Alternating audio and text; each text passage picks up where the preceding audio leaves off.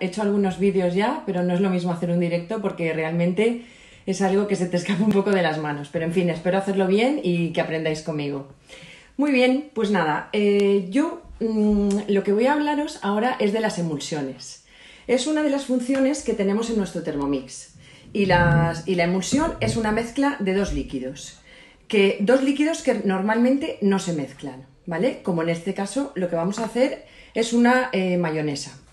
La mayonesa es una emulsión, es decir, es una dispersión del aceite en huevo. El agua la aporta la yema y también la clara del huevo. Las dos cosas, aunque parezca que, la yema no tiene, no tiene agua, también tiene. Y en su medida también un poco de agua que la va a aportar o bien agua o bien, eh, o bien vinagre, perdón, o zumo de limón, que se añade, que se añade cuando se prepara. ¿Vale? Entonces, yo por ejemplo me he puesto una lista de básicos, eh, en este caso es como de mm, emulsiones, y entonces me pongo las mayonesas, todo tipo de variaciones que hay de la mayonesa. Y aquí tengo ya mi receta de mayonesa que he sacado de Cookie Tengo aquí ya los ingredientes. La voy a hacer con aceite de girasol. Los aceites es muy importante saber qué tipo de aceite eh, eh, le pones a una mayonesa, porque por ejemplo un aceite muy fuerte igual nos puede estropear porque el sabor es demasiado fuerte. No ocurre lo mismo con el aioli, que también tiene que ser un aceite de oliva, pero para la mayonesa a mí me gusta mucho más utilizar aceite de girasol. Tenemos, necesitamos un huevo, necesitamos sal, el zumo de limón que le voy a poner yo y vamos a empezar con la receta si os parece. Empezar a cocinar. Ponemos la tapa y sobre la tapa vamos a poner una jarra. Y esta jarra le vamos a poner un cuarto, 250 gramos de aceite de girasol. El que le guste con oliva puede utilizar aceite de girasol y también puede utilizar eh, una mezcla de girasol con un aceite suave de oliva. Vale, tenemos nuestra, me encanta que vaya tan precisa porque 2.50. Justo, perfecto. Siguiente, reservamos este aceite. Nos vamos a siguiente y tenemos el huevo. Vamos a poner en nuestro Thermomix el huevo. Los huevos es muy importante respetar las, eh, el peso de los huevos. Normalmente en las recetas nos dice siempre M.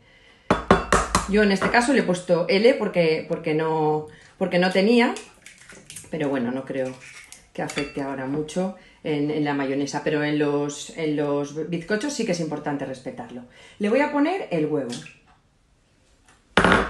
Y tiene que estar a temperatura ambiente. Es muy importante que los ingredientes estén a temperatura ambiente. Le voy a poner una cucharadita de zumo de limón, que ya tengo aquí exprimido, y voy a ponerle a ojo un poquito de limón. Siguiente, opcional son la mostaza, que sería una, mayonesa a la francesa, y también me pide que le ponga un poquito de pimienta molida, que también es una opción. Yo no se la voy a poner en este caso. Le voy a poner una media cucharadita de sal y voy a mezclar bien estos ingredientes. Es muy importante que se mezclen bien los primeros ingredientes antes de poner el aceite, por lo menos unos 10 segundos. Si es necesario, eh, durante el minuto y medio le puedo añadir un poquito más de, tiempo si lo necesita. Recuerdo que estamos haciendo, para los que os habéis incorporado después, eh, estamos haciendo la mayonesa eh, con nuestro Thermomix. La receta la tenéis en, en cualquiera de las máquinas, en los libros básicos de 31, en el 5 o en el, o en el 6. Y con la máquina en marcha voy a ir echando el aceite a hilo para que vaya cayendo poquito a poquito. Y fijaros, lo pongo directamente sobre la tapadera. La tapadera tiene unos orificios que lo que hace es que va cayendo despacito, despacito, para que coja exactamente la cantidad que necesito. A veces eh, cuando haces una mayonesa es muy importante que esto caiga muy despacito. Eh, te dicen, eh, ¿te ha dolido el brazo después de haber hecho la, mayonesa? Pues, o de la, sobre todo de la aceite. Si el, el brazo te ha dolido, es que has hecho bien la mayonesa. O el aceite, porque hay que hacerlo muy despacito.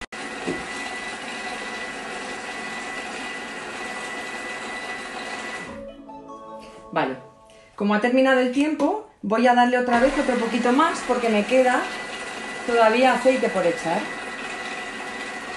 Yo despacito, despacito y voy echando. Mientras tanto, os voy a dar ideas. Primero, a veces se os ha cortado la mayonesa, ¿verdad? No pasa nada. ¿Cómo se arregla una mayonesa que está cortada? Muy fácil. Saco todo lo que queda dentro del vaso, lo pongo en un recipiente, pongo un culito de lo que es el cubilete con agua templada. Hay quien dice que con agua fría también, pero bueno, yo le pongo agua templadita y con el vaso sucio sin lavarlo lo que hago es ir poniéndole eh, el resto de lo que me está eh, de lo que tenía cortado. Entonces se va arreglando. Realmente no sale tan, compacta como cuando sale eh, como cuando la hacemos bien pero bueno sirve y queda y queda bastante bien. Vale cuando termine este tiempo vamos a ir moviendo un poquito y a bajar lo que ha quedado en nuestras paredes en nuestras paredes, perdón, en la tapa, para que quede un poquito. Y bueno, yo creo, vamos a ver, a ver qué tiempo nos queda. 15 segundos, voy a dejar este segundo tiempo y ya está. Y a ver si no se me ha cortado, porque estoy todo el día pensando, por favor, por favor, que no se me corte. Espero que no. A ver... No sé, no sé. Creo que no me ha salido muy bien. Vamos a ver qué tal ha quedado.